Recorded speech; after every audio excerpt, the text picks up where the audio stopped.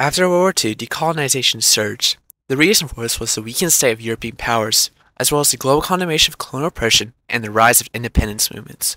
The war's aftermath, coupled with the spirit of self-determination and international pressure, compelled colonial powers to grant sovereignty to their colonies.